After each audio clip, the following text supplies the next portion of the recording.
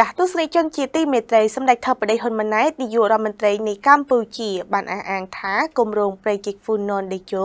គឺជាគម្រោងមួយដែលកើតឡើងពីកិច្ចខិតខំប្រឹងប្រែងរបស់រដ្ឋាភិបាលអាណត្តិទី6បន្តរហូតដល់រដ្ឋាភិបាលអាណត្តិទី7ដោយធ្វើយ៉ាងណាដើម្បី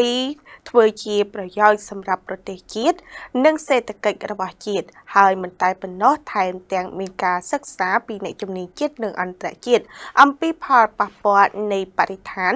និងប្រជាជនផងដែរហើយធ្វើយ៉ាងណា គឺគិតពីផលប្រយោជន៍ជាតិជាធំ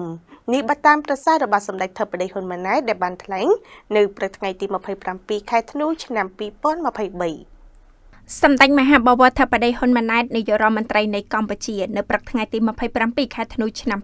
2023បានថ្លែងបញ្ជាក់ថាគម្រោងប្រៃជីកហ្វូណនដេជោជាគម្រោងដែលរាជរដ្ឋាភិបាលទាំងអាណត្តិទី6និងទី7នេះប្រឹងប្រែងយ៉ាងខ្លាំងដើម្បីជំរុញឲ្យលេចរូបរាងឡើងសម្ដៅពង្រីកនៅការដឹកជញ្ជូនតាមផ្លូវទឹកដែលមានផលចំណេញច្រើនសម្រាប់សេដ្ឋកិច្ចជាតិសម្ដេចបានបញ្ជាក់ទៀតថាគម្រោងប្រៃជីកហ្វូណនដេជោនេះត្រូវបានប្រមូលផ្ដុំអ្នកជំនាញជាតិអន្តរជាតិសិក្សាវិតម្លៃនិងកិត្តគូគ្រប់ជ្រុងជ្រោយជៀសវាងនៅផលប៉ះពាល់ដល់បរិស្ថាននិងប្រជាជនធ្វើយ៉ាងណានាំប្រយោជន៍ដល់ជាតិពាក់ព័ន្ធទៅនឹងគម្រោងប្រជិកហ្វូណនដេជោសម្ដេចធិបតីបានបញ្ជាក់ថាគម្រោងប្រជិកនេះគឺរាជរដ្ឋាភិបាលមិនបានខ្ចីលុយចិនមកសាងសង់នោះទេគឺជាការសាងក្រោមកិច្ចសហប្រតិបត្តិការជាមួយនឹងវិស័យឯកជន នៅក្នុងទម្រង់ BOT សាងសង់ប្រតិបត្តិការនឹងផ្ទេរមកវិញការថ្លែងរបស់សម្ដេចធិបតីហ៊ុនម៉ាណែតបានធ្វើឡើងក្នុងឱកាសអញ្ជើញសម្ពោធដាក់ឲ្យប្រើប្រាស់នៅប្រព័ន្ធបង្ហូរទឹកកខ្វក់ក្នុងរាជធានីភ្នំពេញនាព្រឹកថ្ងៃទី27ខែធ្នូឆ្នាំ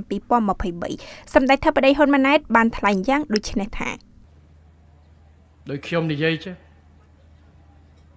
ខ្ញុំមិនមែនរើសដុំថ្មគប់គ្រប់តែពេលទេប៉ុន្តែពេលខ្លះត្រូវការពារខ្លួន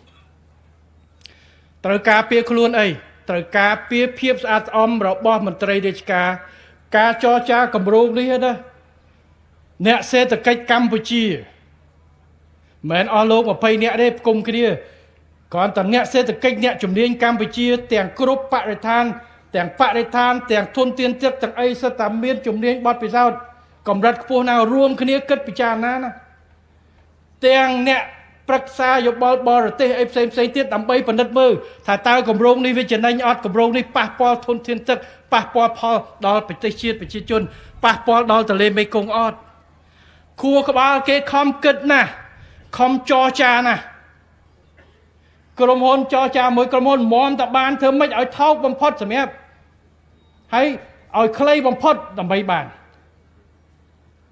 ហើយធ្វើឲ្យមានគុណភាពហើយយើងដាក់លក្ខខណ្ឌសំទោសអាយដាមអូយណូកិច្ចការថ្ងៃនេះប៉ុន្តែត្រូវបញ្ជាក់ដើម្បីបកស្រាយទៅលើកិច្ចការនេះ ត្រូវការពៀអ្នកទាំងអស់នោះមន្ត្រីទាំងអស់នោះសួរគាត់ជាអ្នកគាត់ជឿទេតែយកលុយមកដើម្បីបំផ្លាញនៅលើស្អីអត់ទេអត់ទេមន្ត្រីទាំងអស់នោះឯកឧត្តមសុនចន្ទថូលមន្ត្រីក្រសួងសាធារណការ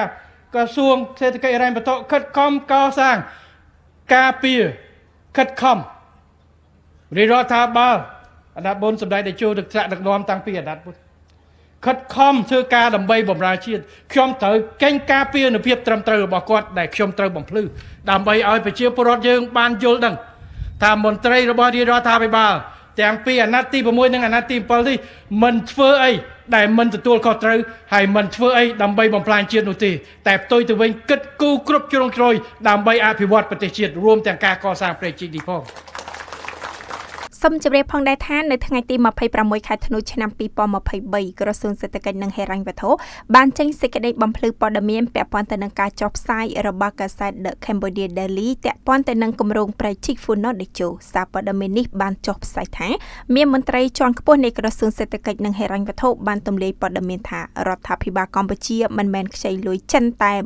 1700លានដុល្លារសម្រាប់សាងសង់ប្រៃជីក Funo Decho ទេប៉ុន្តែបានខ្ចីលុយចិនដល់ទៅ5 5000លានដុល្លារដើម្បីសាងសង់នៅប្រជិកនិងកំពង់ផែនានានិងដើម្បីដោះស្រាយនៅវិបត្តិសេដ្ឋកិច្ចកម្ពុជាពាក់ព័ន្ធទៅនឹងការចេញផ្សាយនៅព័ត៌មាននេះក្រសួងសេដ្ឋកិច្ចនិងហិរញ្ញវត្ថុសូមធ្វើការច្រានចោលនៅព័ត៌មាននេះដោយសារតែជាព័ត៌មានមិនពិតនិងគ្មានមូលដ្ឋាន ក្រសួងសេដ្ឋកិច្ចបានបញ្ជាក់ទៀតថាគម្រោងប្រជាហ្វូណនដេជោគឺមិនស្ថិតនៅក្នុងបញ្ជីកម្មវិធីគម្រោងអភិវឌ្ឍឆ្នាំ2023និង2024នៃច្បាប់ស្តីពីហិរញ្ញវត្ថុសម្រាប់ការគ្រប់គ្រងឆ្នាំ2023និង2024ក្រោមក្របខ័ណ្ឌនៃការខ្ចីពីដៃគូអភិវឌ្ឍទេព្រោះគម្រោងនេះនឹងត្រូវអនុវត្តតាមយន្តការភាពជាដៃគូរវាងរដ្ឋនិងឯកជន កាលពីថ្ងៃទី6ខែកក្កដាឆ្នាំ2023កន្លងមកគម្រោងប្រជាហ្វូណនដេជោត្រូវបានរាជរដ្ឋាភិបាលអនុម័តឲ្យបន្តរៀបចំអភិវឌ្ឍតាមយន្តការភាពជាដៃគូរវាងរដ្ឋនិងឯកជន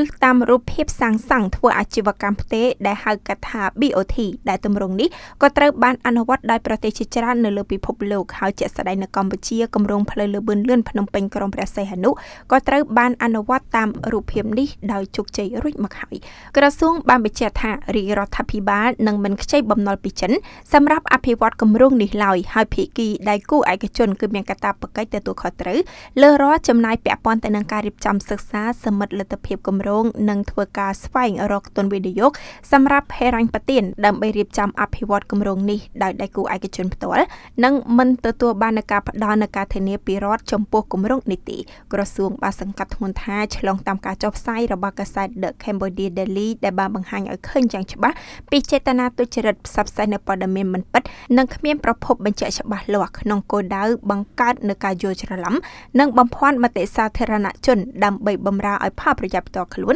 ឬនិន្នាការនយោបាយជ្រុលនិយមណាមួយតែប៉ុណ្ណោះបូរីមេកុងឡែនបង់ប្រចាំខែចាប់ពី400ដុល្លារឡើងទៅបូរីមេកុងឡែនផ្ដើមជីវិតរីករាយនិងជោគជ័យនៅទីនេះ